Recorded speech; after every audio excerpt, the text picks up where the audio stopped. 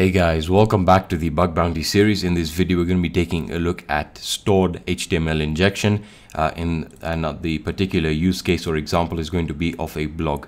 Alright, so without any further ado, let's get started. Now this is when things get a little bit interesting now because uh, if you understand what's going on here is that this HTML code is going to be stored on the server, which means any client that visits this web page uh, will be infected or will get the result of what we have essentially inserted uh, or injected into the web page. So again, this can be explained really, really simply. And of course, it, it won't make much sense if we just simply put an h1 tag in there. However, let me explain the example a bit. Now this uh, the, the, reason they use the blog example is because uh, in many blogs or with many of the blog editors, you are able to uh, actually modify or uh, mark up your particular blog post in HTML. And the reason that is, is because HTML originally is a markup language. So that really makes sense. Now, of course, uh, you know, content management systems like WordPress, uh, will have ways of detecting this, especially when talking about malicious code and using various tags that are really malicious in, in nature. One of them being an, an iframe, which is what we're going to be testing right now.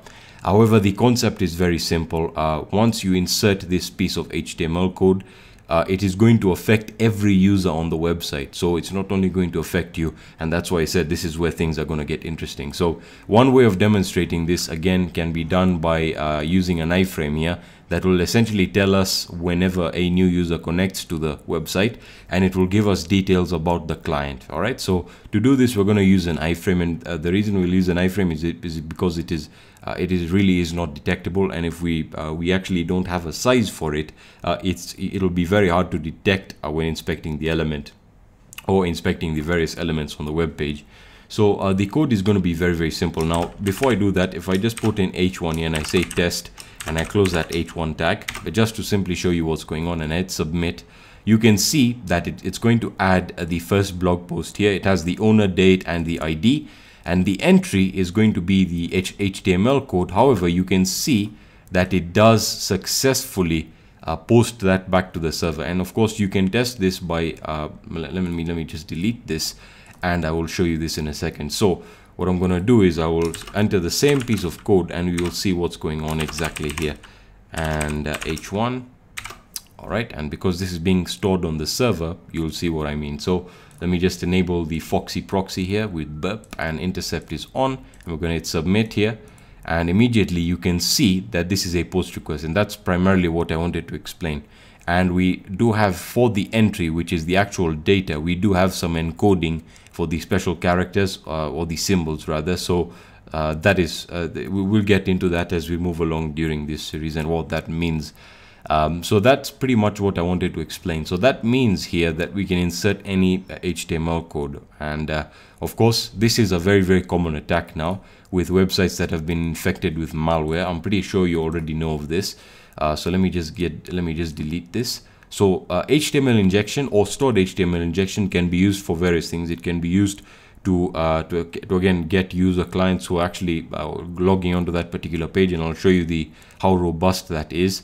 Uh, and of course it can be used to deface websites you can include uh, iframes redirections all that good stuff so let's get started with a simple iframe and its job is to essentially post uh, all the information back to us and that is to our attacker's IP. So if you're doing this over the internet, you can also configure it that way.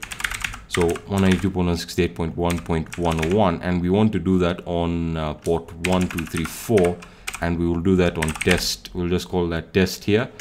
Uh, so we're going to say set the height um, to zero and because that because we want to make it as undetectable as possible and we're going to set the width again to something like zero here and that's pretty much it for the iframe. So i'm just going to say iframe here. And uh, once we hit submit what's going to happen is um, all of the clients logging into this particular page uh, will get we will get their client data the IP address uh, their client information all of that good stuff. So let me just open up a terminal here and uh, I will just enlarge it a little bit and clear that out. And I will set up a netcat listener on port 1234 and hit enter and I will just hit submit. All right? And once I've hit submit you should see that my client information was sent back. And the reason you know it's me is because of the IP address. That's my current IP so it connected directly to me again. Uh, so the important information you can get, as you can see right over here, is you have information about the user agent, which tells you what browser the, the client might be using, the operating system. So that's a very basic attack. Now you might be saying, well, how do I know that this is only this is working for anyone who actually accesses this website? So I can prove that to you by actually opening up another terminal here, and I'll increase the font size there as well.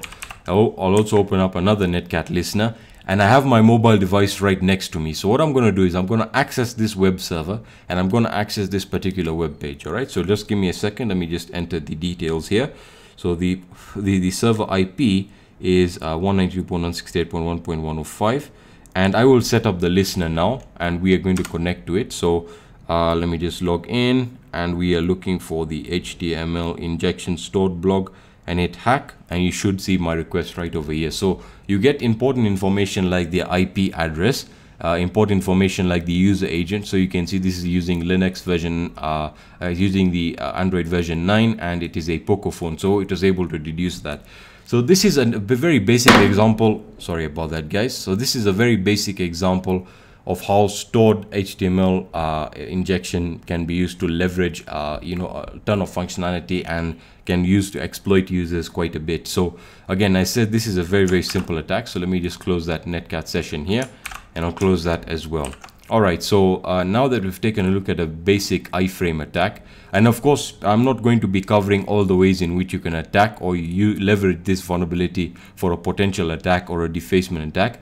However, I'm going to show you uh, another great attack that many people use, and of course, it's used to target users that are oblivious to various content management systems. So uh, let us create a fake login form here, and what we will do is we'll inject it into the into this page here and it will display it for us. And that attack can be used to force users to enter their username and password which will then be captured. So i'm currently using the w3 schools editor here because it's the best editor to use online. And i've created a simple html login form with the action again sending data uh, back to uh, to uh, our IP and with you know test.html just basic uh, action here. And so that's where all the data is going to be sent. Uh, so we have the fields username and password here and again that's very very simple. So again what we're going to do is we're just going to copy this code here and uh, we will go back into our HTML injection page and paste that right in here and hit submit. All right? And once that is submitted you can see that we have the username and password entry. Now uh, this is a very basic explanation of how this attack would go. When performing this attack, for example, on WordPress, one would clone the WordPress login page to make it look as realistic as possible.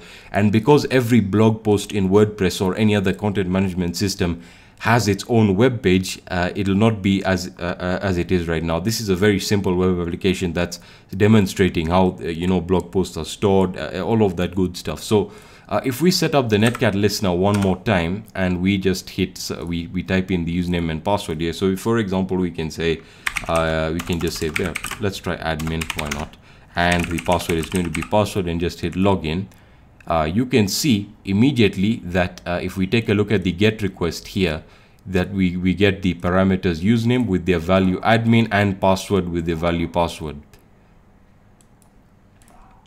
all right so now now that we've actually explained that you can see the value of this attack and if we just close the netcat listener here it takes us to that particular web page and we can see that that action really did not do anything much in regards to a web application and the user will then get an idea that they've been exploited. Uh, that being said that's pretty much all that i wanted to explain in regards to stored html injection um, so again, let me know what you guys think. If you have any questions or suggestions, let me know in the comment section on my social networks or at the forum at hackersploit.org. And I'll be seeing you in the next video. Peace, guys.